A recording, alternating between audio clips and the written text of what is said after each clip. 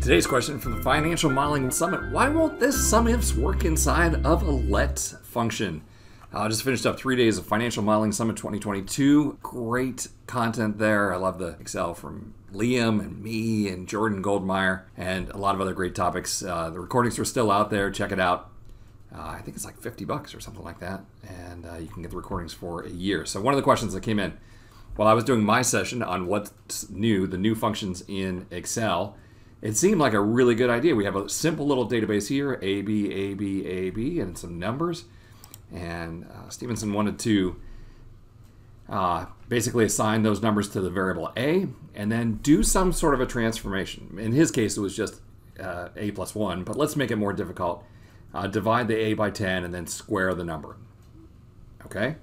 And then the last part, the calculation, is the SUMIFS pass it those transform numbers just for the items that are A. And when we press enter, we get value errors all the way down. I'm like, well, that, I mean, it really should work, right?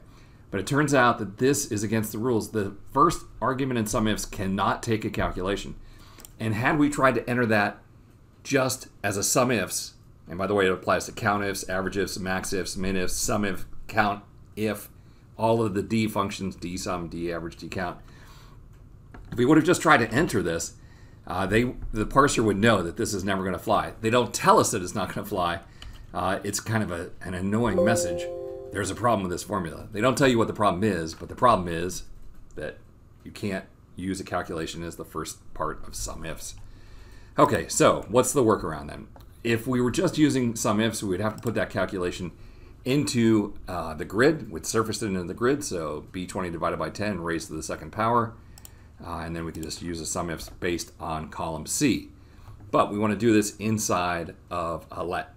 So unfortunately, I, I think, at least for me, the people in the YouTube comments will tell me that there's other ways to do this.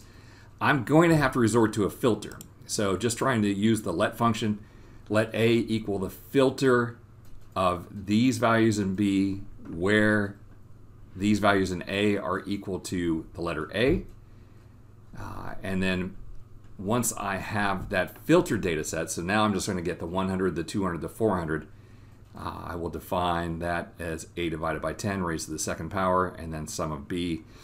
I was just trying to emulate the original formula here. It turns out we don't even have to use the let if you're really careful with the parentheses.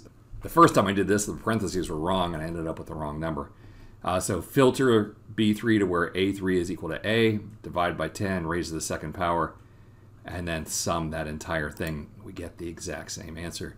Uh, shout out to Brad Young, Jon Peltier, Charles Williams, Andrew Becker, who already knew this. As soon as I asked the question, they're like, oh, yeah, that's never going to work. Never has, never will. Super annoying that the message, when you're trying to do it inside of SUMIFS, um, isn't so clear. All right, well, hey, I want to thank you for stopping by. We'll see you next time for another netcast from Mr. Excel.